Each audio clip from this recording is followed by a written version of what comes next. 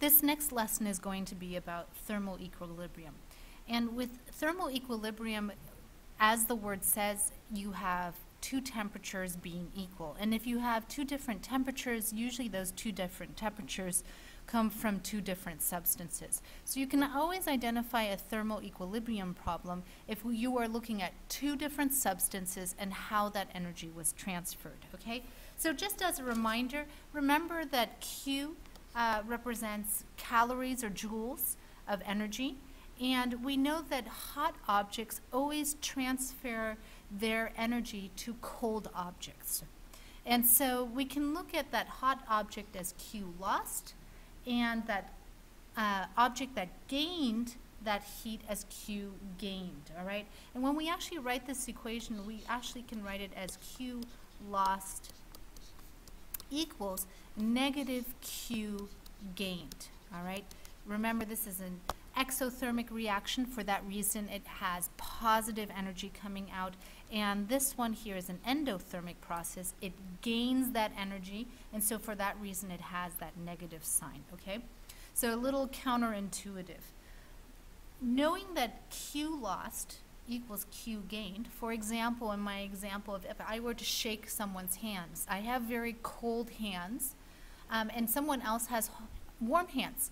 The heat from that other person's hand will actually be transferred to my hand until both of our hands are the same temperature. So the person who has those warm hands is going to have that Q lost, and I, who have cold hands, will be the Q gained. So we can rewrite this with, the, with remembering that Q equals mc delta T. We can rewrite this equation to look like this, that Q lost from one substance can be the same as a negative mc delta, ooh, delta T, not an AT, okay? So it's more or less replacing these Q values uh, with the mc delta T. So we're going to actually go through a problem where we're doing this. So here you have a problem where it says uh, you have 12 piece of a uh, 12 gram piece of aluminum with a heat capacity of 0.215 calories per grams. Uh, Celsius is at 70 degrees. It's placed in a beaker that contains 35 grams of 15 degree water. What temperature will they come to thermal equilibrium? So first task is to identify whether or not this is a thermal equilibrium problem. Well, the fact that you have thermal equilibrium as part of your question is a dead giveaway, but the second dead giveaway is that you have two substances. You have aluminum, and it's placed in a beaker with water. So we have two different substances. We know we need to set up the equation um, where you have those two equaling each other. So first step, find how many substances.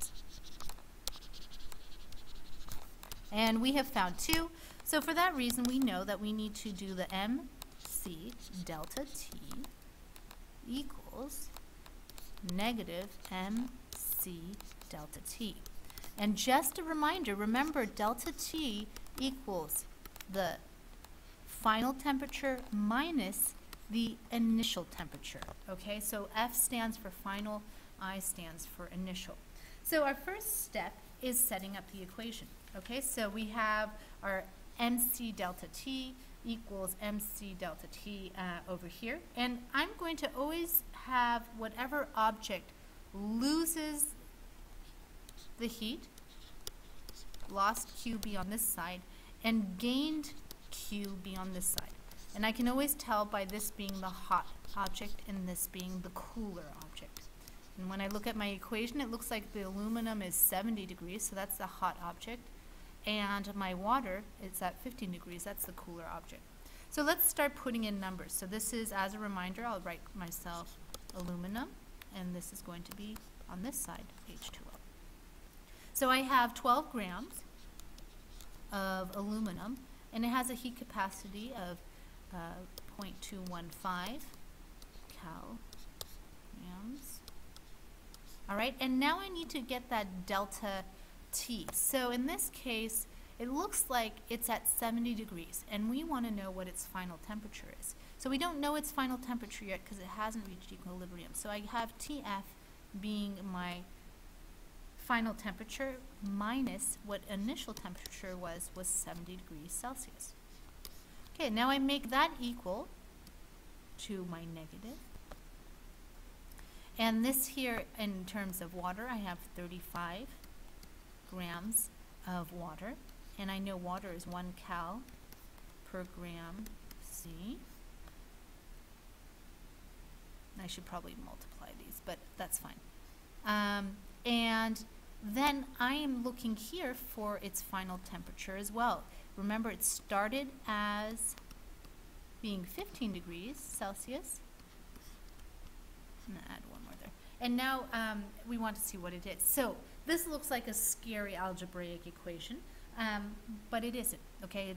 Keep in mind, we know that at thermal equilibrium, the thermal, the temperature of the water will be exactly the same as the temperature of the hand, uh, of the aluminum, because they are temperature equal, thermal equal, okay?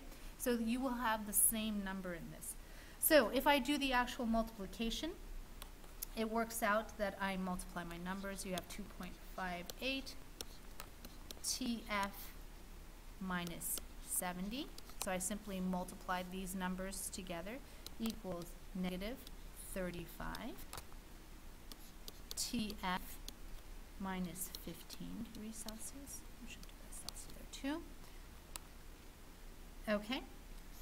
And if I do my calculations even further, that works out to be 2.58 TF minus 180.6. And what I did was use the distributive property in math. Yes, math comes in handy. And negative 35 TF minus 525. Again, I multiplied these together using the distributive property. And that works out to be 37.58 TF equaling 7005.6 and TF by itself works out to be 18.08 grams Celsius because I simply divided uh, these here to get TF by itself. And so my final answer is the thermal, the temperature that they will both become, that aluminum and the water, will be 18.8 degrees. Okay, so TF stands for that. And that's more or less how you calculate thermal equilibrium. For the quiz that you have online, you're going to be uh, going through some of these problems and I strongly suggest that you have this up and see how you would set it up. The most difficult part, or the part that students struggle with the most, is getting, making sure that you always have your initial temperature being on the right side and your final temperature being on the left.